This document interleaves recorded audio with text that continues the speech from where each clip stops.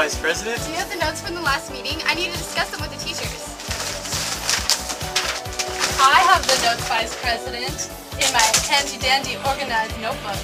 Oh, Karsin, you're so organized. I'd vote you for secretary. Mama Main, gasoline. She's on fire. Put her out. As a matter of fact, take her out. Cause she's on fire. Keep from the devil. Cause my girl, she, she's on fire. Yeah, but everything so cool.